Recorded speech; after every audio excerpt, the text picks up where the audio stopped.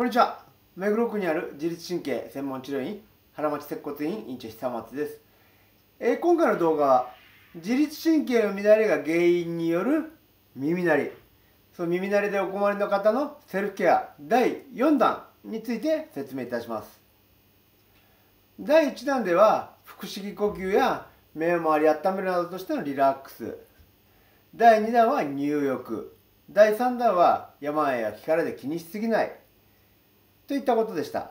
第4弾。第4弾は適度な運動です。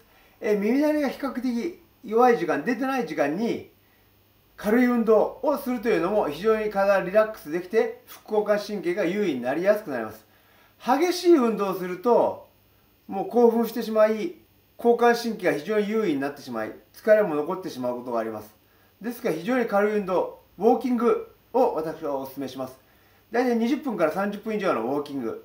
それにより軽い疲労感が残り適度な気持ちよさになりそして副交感神経が優位になりその後体は回復しやすくなります。